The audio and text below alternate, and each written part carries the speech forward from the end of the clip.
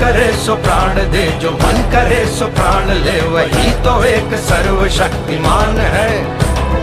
कृष्ण की पुकार है, ये भागवत का सार है कि युद्ध ही तो वीर का प्रमाण है। कौरवों की भीड़ हो या पांडवों का नीड़ हो, जो लड़ सका